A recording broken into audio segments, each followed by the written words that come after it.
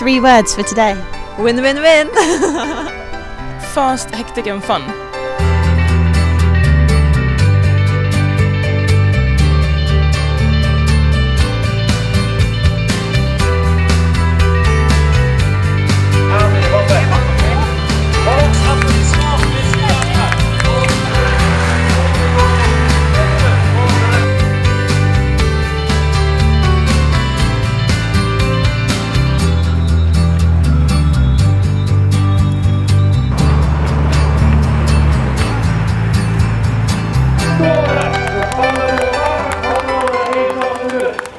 Yeah, it was great. Legs felt good. So, but it was uh, hard uh, to get to get into a break. So it was just uh, pushing uh, all the way to the limit.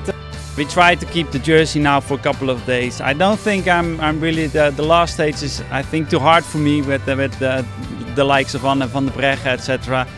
But uh, I'll, I'll enjoy it a couple of days. I mean, uh, it's very special to ride in the leader's jersey into a course.